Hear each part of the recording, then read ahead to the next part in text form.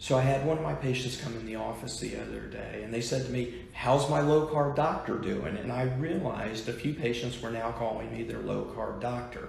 What I really am is a medical specialist that focuses on metabolic health. And by metabolic health, we mean weight loss, improved blood glucose, improved hemoglobin A1C, better cholesterol, and also improving blood pressure.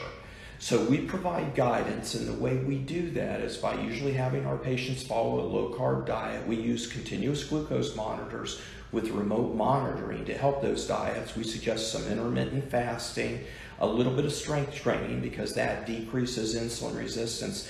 And then once in a while, we'll also use some of the FDA approved medications for weight loss. So we formed our own society. I'm a founding member of the Society of Metabolic Health Providers. So we're meant really to complement your primary care provider, not replace your primary care provider. So we work on those issues that sometimes primary care providers don't have the time to address. So if you're looking for a low carb doctor, what you're looking for is a metabolic health specialist, and there are more and more of us out there these days.